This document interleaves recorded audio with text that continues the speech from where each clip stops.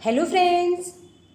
आज के इस वीडियो में मैं आपके साथ शेयर करने वाली हूँ कि बारिश में आप अपनी तुलसी के पौधे की ग्रोथ को कैसे बढ़ा सकते हैं।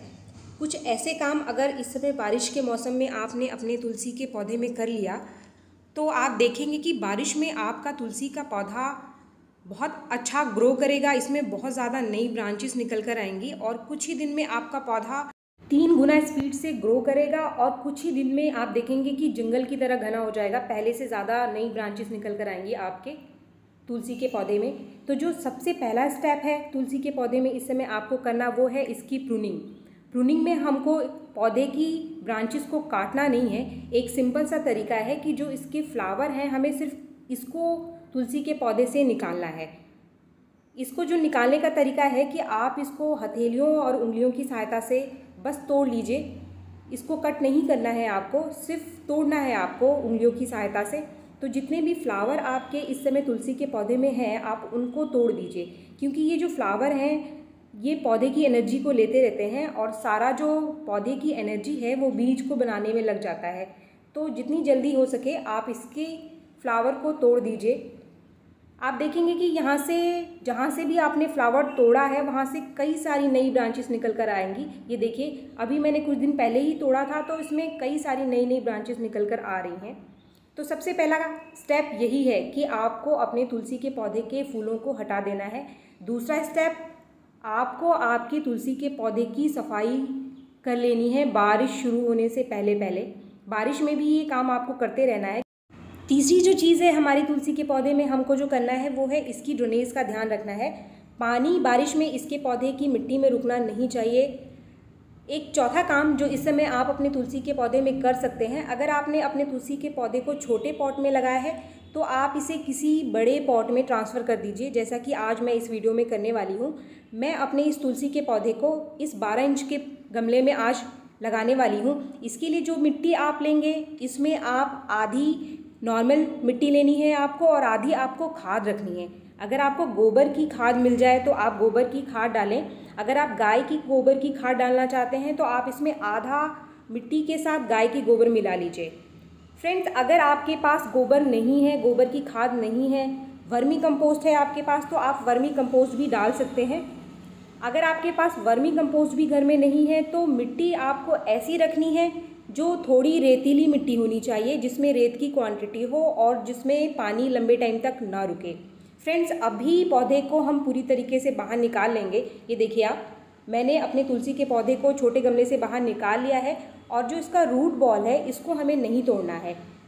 हमें जो इसके रूट बॉल को बिल्कुल भी टच नहीं करना है, क्योंकि अगर हम इसको तोड़ेंगे तो जो इसके छोटे छोटे रूट्स हैं, जो कि मिट्टी से पानी और खाद लेते हैं, उनको नुकसान पहुंचेगा और हमारे पौधे को नुकसान पहुँच सकता है। तो इसलिए आपको रूट बॉल नहीं तोड़ना है।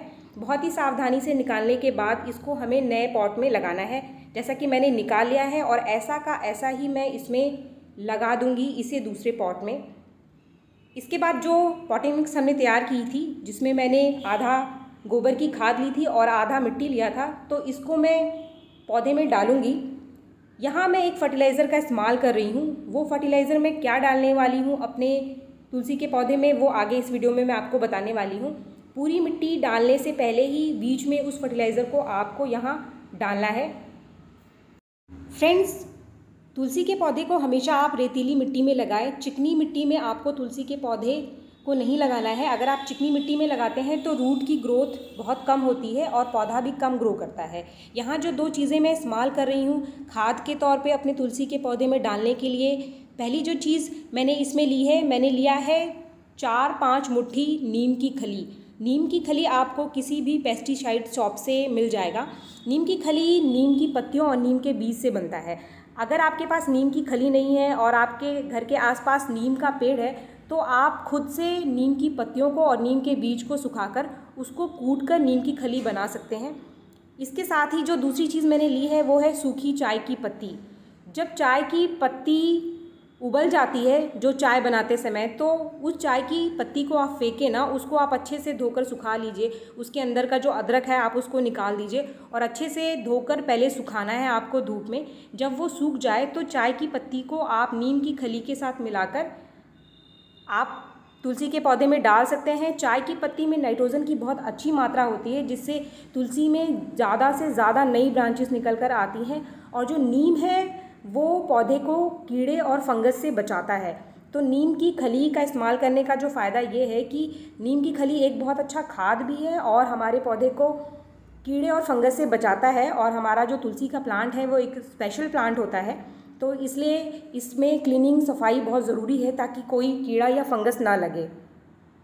फ्रेंड्स वाटरिंग करने के बाद आप पौधे को शेड वाली जगह पे रखेंगे एक से दो दिन के लिए। उसके बाद आप इसे जहाँ पर रखना चाहते हैं, वहाँ पर रख दीजिए। ये देखिए, आप हमने इसमें पानी डाला था और कुछ ही मिनट में पानी बिल्कुल नीचे चला गया तो मिट्टी ऐसी ही होनी चाहिए तुलसी के प्लांट के लिए। फ्रेंड्स ये देखिए आप, ये सिर्फ़ सात दिन के बाद का रिज़ल्ट है जब हमने पौधे का पॉट बदला था तो सात दिन बाद आप देखिए कि इसमें पहले से ज़्यादा नई ग्रोथ आ गई है और आप देख सकते हैं कि इसमें कितने ज़्यादा नए फ्लावर निकल कर आ गए हैं। और पौधा पहले से ज़्यादा हरा दिखाई दे रहा है और इसकी ग्रोथ भी सिर्फ़ सात दिन में बहुत अच्छी हो गई है। अगर ये काम अभी आप बारिश में कर लेंगे तो आने वाला जो बारिश का टाइम है, इसमें इसकी ग्रोथ और भी बढ़िया हो जाएगी और आपका तुलसी का प्लांट बहुत ही तेज़ी से ग्रो करेगा। बारिश में तुलसी के पौधे को फंगस और कीड़े से बचाने के लिए जो सबसे इंपॉर्टेंट काम है वो है आपको आपके तुलसी के पौधे की सफ़ाई करते रहना है। आप ये देखिए, सिर्फ़ सात दिन में कितनी सारी घास उग कर आ गई है इसमें। तो इस तरीके की सूखी हुई पत्तियों और घास को आप टाइम टाइम पर अपने तुलसी के पौधे से निकाल दीजिए। इससे आपका पौधा बारिश में भी हेल्दी और हरा बना रहेगा। अगर आपके पास घर पर कोई खाद नहीं है तो आप सिर्फ़ सूखी चाय की पत्ती, यानी कि वो चाय की पत्ती जो चाय की छन्नी में बच जाती है, आप उसका इस्तेमाल अगर अपने पौधे में करेंगे तो इससे भी आपकी तुलसी के पौधे की ग्रोथ बारिश में बहुत अच्छी होगी। पर चाय की पत्ती को पहले आप अच्छे से धोकर उसको सुखा लीजिए। सूखी हुई चाय की पत्ती को तीन से पाँच चम्मच आप दस दिन में एक बार अपने तुलसी के पौधे में डाल दीजिए। अगर आपके तुलसी के पौधे में कोई कीड़ा या फंगस लग रहा है तो आप इस पर बेकिंग सोडा का स्प्रे कर सकते हैं। बेकिंग सोडा को आप आधा चम्मच बेकिंग सोडा एक लीटर पानी में घोलकर इसका स्प्रे कर दीजिए अपने तुलसी के पौधे में। या फिर एक चम्मच हल्दी पाउडर आप पंद्रह दिन में एक बार अपने तुलसी के पौधे की मिट्टी में मिला देंगे। तो इससे भी आपके तुलसी के पौधे में कोई फंगस या कीड़ा नहीं लगेगा। अगर आपको ये वीडियो पसंद आया तो एक लाइक ज़रूर करें और मेरे चैनल को सब्सक्राइब करना ना भूलें। Thank you.